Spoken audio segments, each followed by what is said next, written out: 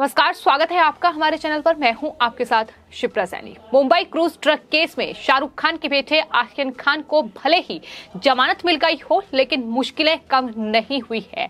क्योंकि अब Aryan Khan drug case में एनसीबी की एसआईटी इस पूरे मामले की जाँच कर रही है और मुश्किलें आर्यन खान के लिए बढ़ चुकी हैं, क्योंकि अब एसआईटी ने आर्यन खान को समन भेज दिया है और पूछताछ के लिए उन्हें एनसीबी के दफ्तर बुलाया गया है। तो जो आर्यन खान फ़िलहाल इस पूरे ड्रग केस में जमानत पर बाहर है, लेकिन अब एक बार फिर से मुश्किलें बढ़ती नज़र आ रही हैं। उनसे पूछताछ इस पूरे मामले में होगी। और इसी के साथ साथ आपको बता दें, आर्यन खान के दोस्त अरबाज मर्चेंट, इसके अलावा अचित कुमार, जो कि उनके दोस्त हैं, उनसे भी एनसीबी की ये नई टीम पूछताछ करेगी। आपको बता दें, एनसीबी के zonal director Sameer Wankhede Aryan Khan drug case में जाँच कर रहे थे, लेकिन अब एसआईटी को इस जाँच का जिम्मा सौंप दिया गया है और इसका नेतृत्व जो है टीम का, वो डीडीजी ऑपरेशन संजय कुमार सिंह कर रहे हैं और उनके नेतृत्व में ही तेरह अधिकारियों की ये टीम है जो बॉम्बे पहुँची है और इस पूरे मामले की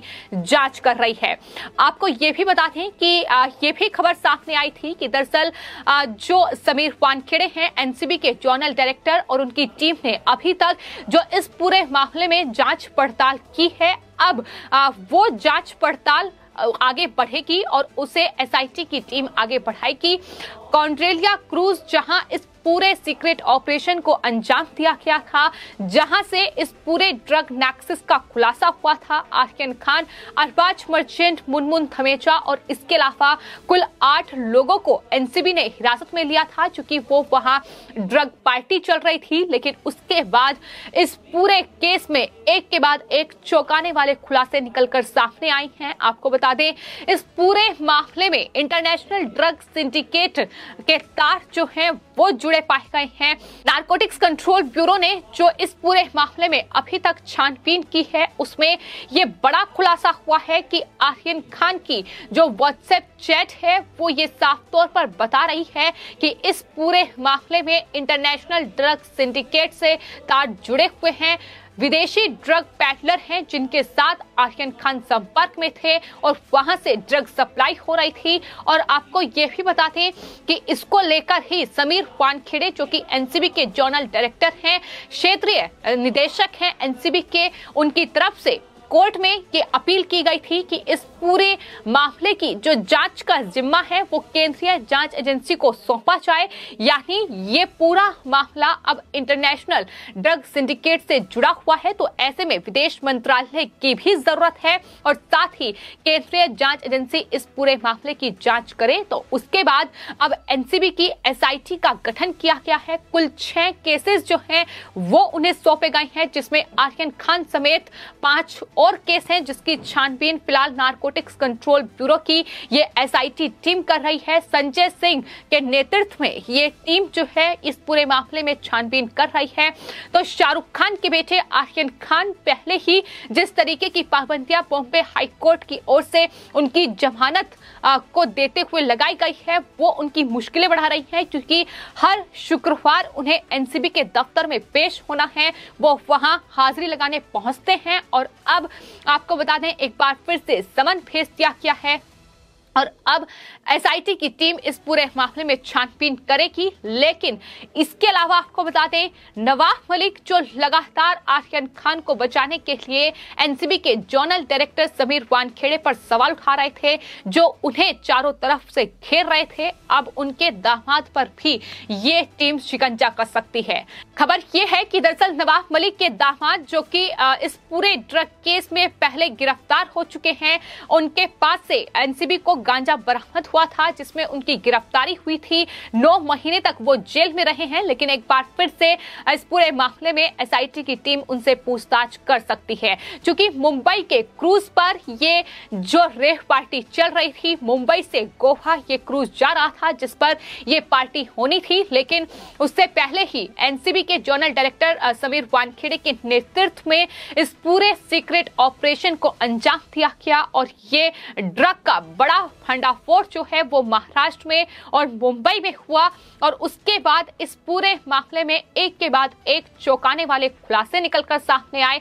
न सिर्फ़ इंटरनेशनल ड्रग सिंडिकेट का खुलासा हुआ, बल्कि बॉलीवुड के स्टार शाहरुख खान के बेटे आर्यन खान को लेकर भी कई चौंकाने वाले खुलासे निकलकर सामने आए कि किस तरीके से पिछले चार साल से आर्यन खान ड्रग का सेवन कर रहे थे।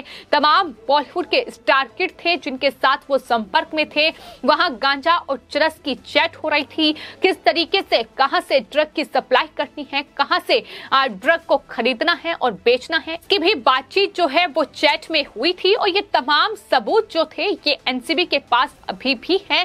भले ही बॉम्बे हाई कोर्ट से आर्यन खान को जमानत मिल गई हो, लेकिन मुश्किलें कम नहीं हो रही है क्योंकि महाराष्ट्र में इस पूरे ड्रग नैक्सिस को खंगालने में एनसीबी जुटी हुई है और समीर वानखेड़े अभी भी इस पूरे केस से जुड़े हुए हैं।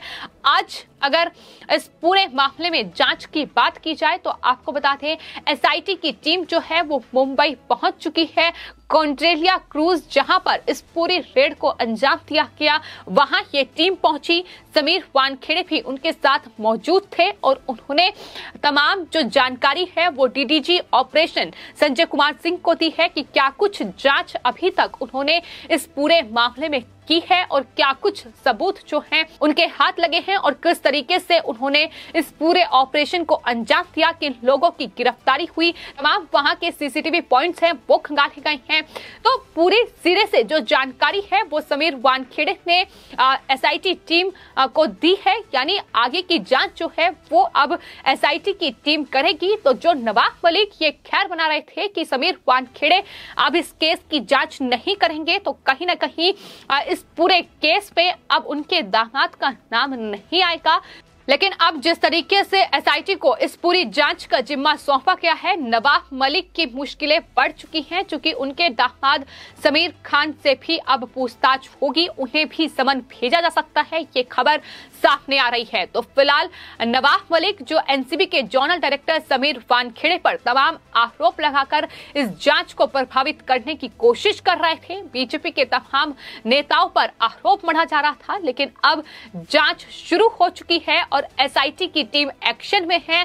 नवाब मलिक और आर्यन खान की मुश्किलें लगातार बढ़ रही हैं और इसी के साथ साथ अरबाज मर्चेंट मुनमुन थमेजा अचित कुमार, जो कि ड्रग पैडलर के साथ संपर्क में थे, आर्यन खान के खास दोस्त हैं, उनसे भी अब एनसीबी की ये एसआईटी टीम पूछताछ करेगी।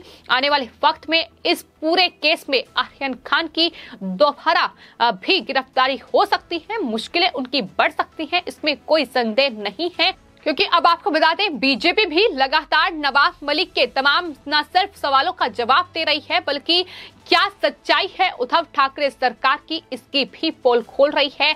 इस पूरे मामले में जिस तरीके से इंटरनेशनल ड्रग सिंडिकेट का खुलासा हुआ है, इंटरनेशनल लिंक जो है, वो सामने आए हैं। किस तरीके से आर्यन खान की जो चैट है, वो ये बयां कर रही है कि विदेशों से तार जुड़े हुए हैं और ये भी खुलासा हो चुका है कि आर्यन खान ने जब विदेशों में पढ़ाई की तो वहाँ ड्रग का सेवन किया और वहाँ तमाम ड्रग पैटर के साथ वो संपर्क में में रहे और फिर भारत में आकर उन्होंने इस काम को जारी रखा है और यहाँ तक कि दूसरी ओर बीजेपी ये बड़ा खुलासा कर रही है कि दाऊद इब्राहिम के जो गुर्के हैं, उनके के भी उद्धव ठाकरे सरकार इस तरीके से महाराष्ट्र में ये ड्रग सिंडिकेट को चला रही है और यही वजह है कि इन ड्रग माफियाओं के समर्थन में उद्धव ठाकरे सरकार उतरी हुई है।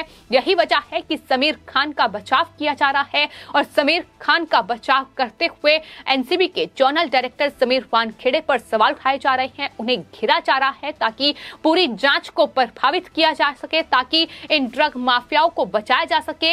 इन ड्रग माफियाओं पर शिकंजा ना कसा जाए। अगर ड्रग माफिया ज़ाहिर तौर पर एनसीबी के शिकंजे में आते हैं तो उद्धव ठाकरे सरकार में कई नेता, कई मंत्री ऐसे हो सकते हैं जो मुश्किलें उद्धव ठाकरे की बतौर मुख्यमंत्री बढ़ाएँगे। और यही तमाम चीज़ें हैं जिसकी वजह से फ़िलहाल उद्धव ठाकरे सरकार में इतनी खलबली मची हुई है, जब इन ड्रग का सेवन करने वालों पर कार्रवाई हो रही है, और अगर बात समीर खान की की जाए, जो कि नवाब मलिक के दामाद हैं तो आपको बता दें कि बड़ा ड्रग नेक्सिस महाराष्ट्र में चला रहे हैं, और अब दोबारा जेल जा सकते हैं। यही वजह है कि इस तरीके के जो तमाम हथकंडे हैं, वो नवाब मलिक की ओर से अपनाए जा रहे हैं। लेकिन फ़िलहाल आर्यन खान से पूछताछ करेगी एनसीबी की एसआईटी टीम क्या कुछ सवाल उनसे किए जाएँगे क्या कुछ सवालों के जवाब जानने की कोशिश होगी? लेकिन माना जा रहा है कि इस पूरे मामले में, इस पूरे केस में दरअसल वो इंटरनेशनल ड्रग लिंक ही है, जिसका खुलासा एसआईटी की टीम करने जा रही है। और अगर ये बड़ा खुलासा होता है, अगर इस लिंक का खुलासा होता है तो ज़ाहिर तौर पर महाराष्ट्र सरकार में कई ऐसे बड़े चेहरे होंगे जो बेनकाब होंगे और कई ऐसे चेहरे होंगे जो जेल की सलाखों के पीछे होंगे। फ़िलहाल आपकी इस पूरे मामले पर क्या राय है, हमें कॉमेंट बॉक्स में ज़रूर लिखें और चैनल को सब्सक्राइब करें। धन्यवाद।